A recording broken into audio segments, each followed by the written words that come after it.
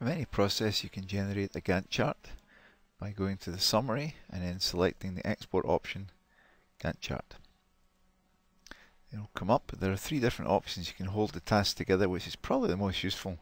It shows you the individual uh, tasks. So here's mold parts, stack parts and so forth down here and it shows you the breakout in a Gantt chart format. You can also display by time uh, which gets a little tight, we say, in some cases.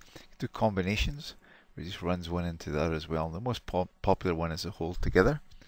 And uh, of course, you can see easily export it to Excel here. It will generate the same chart over inside Excel for you. You see, it takes a few seconds here to put it all together.